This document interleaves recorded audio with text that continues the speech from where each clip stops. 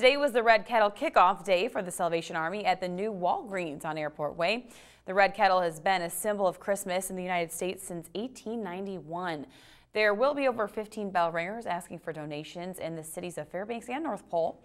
Corps Officer Major Kevin Botchin says the Salvation Army needs over $60,000 this year to help overcome financial stress at their thrift store on South Cushman Street resulting from the road construction.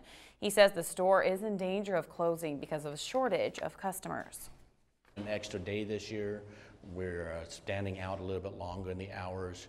We really need to make up that loss because that's, that's $60,000 in help that we can't give to people of Fairbanks now because of the uh, beautiful road they built, but unfortunately it was during our busy season